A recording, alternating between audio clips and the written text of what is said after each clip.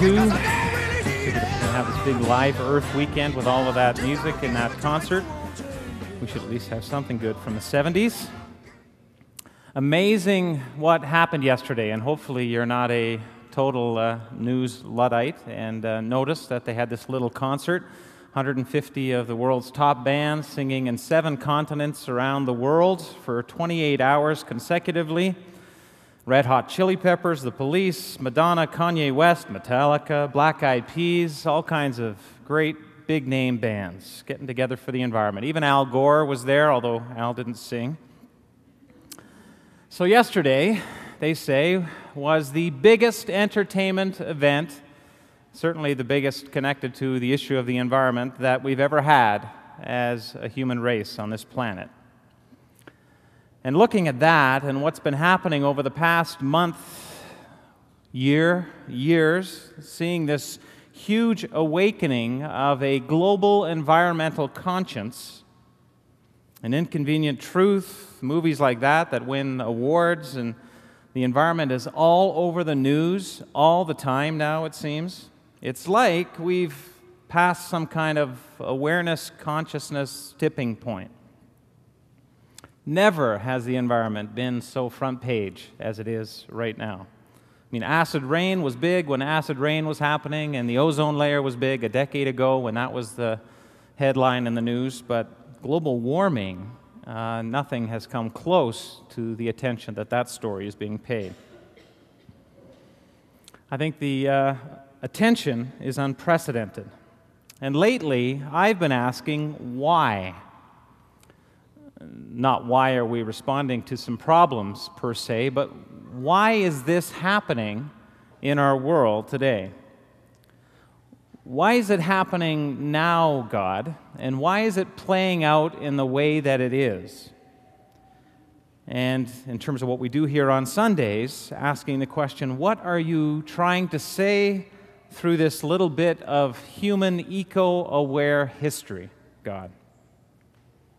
And those are big questions that I'm not sure, part of me thinks it's arrogant to even think you can begin to answer them. But as a person of faith who believes that this is God's world and it belongs to Him and He cares about it and He's involved and His, his Spirit is moving in and through the things that happen in created order, including us, that He loves it all, believing that, we can ask questions like that.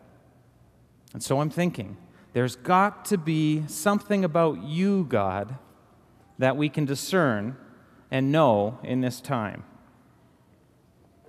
Last Sunday, we focused heavily on God's love for the world. For God so loved the cosmos, every bit of the created universe, that God sent his Son. God loves every bit, every day of that initial creation account. And we also heard last week that we're made in the image of God, so we're called to reflect God's heart for His world, to love it as much as He does. So, when yesterday we see, they say, up to 2 billion people taking in part of that concert, getting involved in some way on the internet, through television, through other means, when we see that happening and a movement playing out that is trying to make this world a healthier ecological place, we are seeing God's heart and God's spirit at work. The Spirit of Christ is working in the good, true, and beautiful ways that that movement is working. Now, that is not to say that the movement and the people involved in the movement and us in that movement don't mess it up just like the church messes up Christ's message again and again and again, sorry, we're trying to figure it out, so too people can get in the way of the goodness of the environmental movement. It's still going to happen, but the fact that the created order is getting much more careful and thoughtful attention is a God thing, a move of God. And when God moves, especially in ways that seem very clear and in powerful ways like this, then God reveals as He moves, shows us something, speaks something of who God is.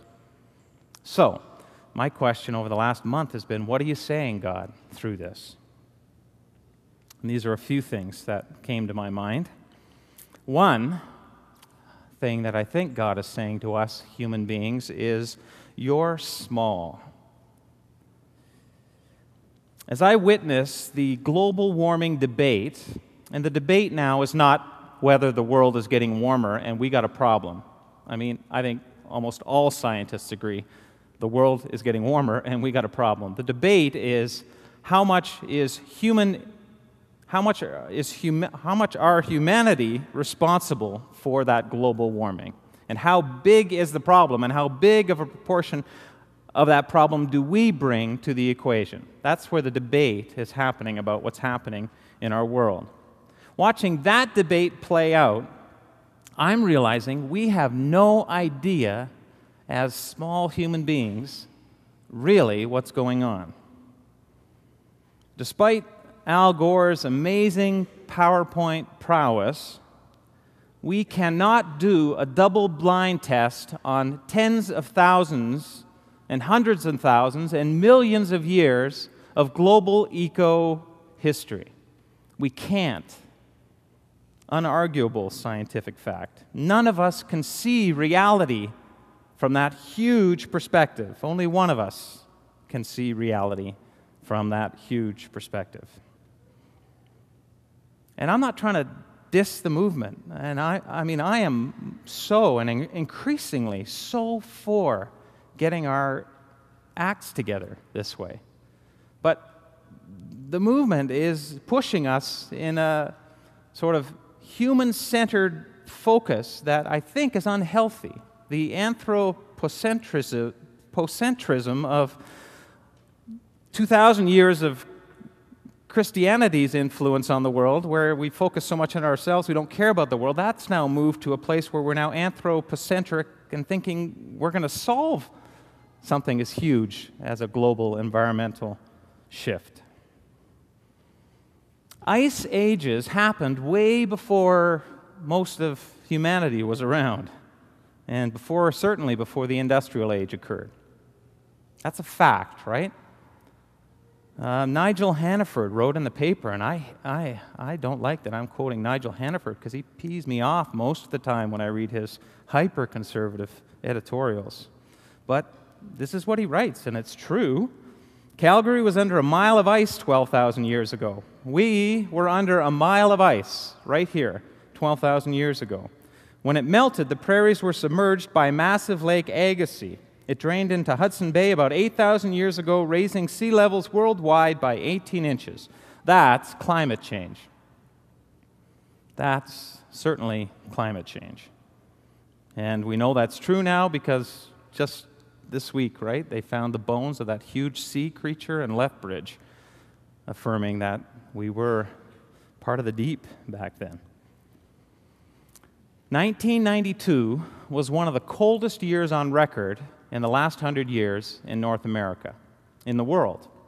And the reason it was one of the coldest years on record was because in 1991, Mount Pinatubo exploded and the earth belched, and global temperatures dropped significantly as a result of that volcano.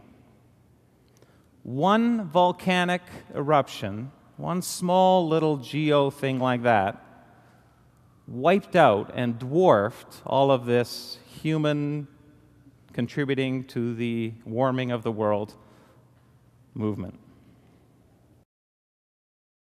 It's warming up. We got to behave. We got to stop polluting as much. We got to keep the world clean. We as individuals have to make small steps. All those things, all those little commercials yesterday during the concert about light bulbs and watering and what we drive and how we live our lives and our consumeristic tendency. We got to do all of that. But don't give your small part in this too big a role. Or don't think, yeah, don't get me going.